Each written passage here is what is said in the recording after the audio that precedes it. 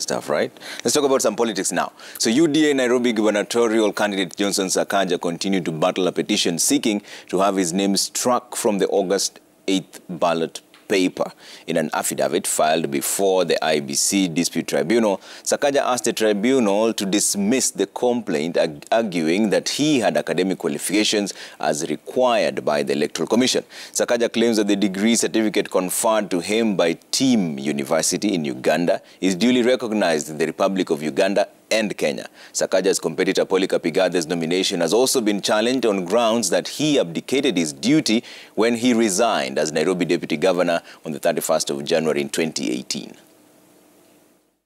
There is no issue on the fact. In an affidavit filed before the IEBC Dispute Resolution Committee, UDA Nairobi gubernatorial candidate Johnson Sakaja came out to defend himself against claims of not being eligible to vie for the seat in the August 9th polls. Sakaja, who terms the complaints as baseless, insists that he holds a Bachelor of Science in Management degree conferred to him by Team University in Uganda, having satisfied the requirements for the award. The senator also argues that the university in Uganda is duly recognized in that country and by convention in Kenya. Sakaja is accusing the complainants of fraudulently omitting relevant pages of the graduation booklet, which was held on 21st October 2016 and which bears his graduation credentials. In his affidavit, one of the complainants, Dennis Gaku, had indicated that only six students graduated with a degree of Bachelor of Science in Management, and Sakaja was not among them.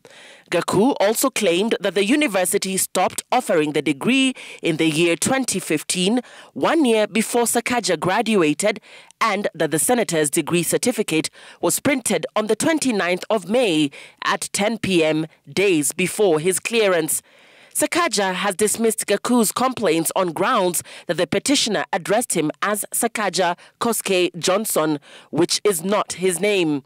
Sakaja, who wants the complaints dismissed, argues that the complainants are being pushed by his competitors who want to confine him within the corridors of justice as they enjoy a field day on the campaign trail. Clearing Mr. Polycarp. Meanwhile, Sakaja's competitor Polycarp Igathe's bid is also being challenged at the committee. George Bush, a voter in Nairobi, wants Igathe's nomination revoked on grounds that Igathe abdicated his role as a deputy governor when he resigned on January 31st, 2018, after a fallout with the former governor Mike Sonko.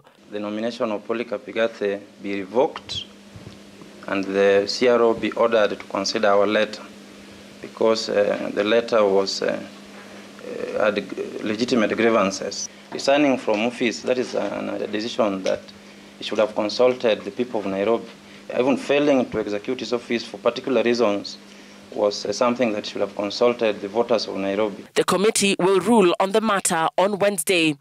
UDA Kiambu senatorial aspirant Karungo Thangwa also faced the panel.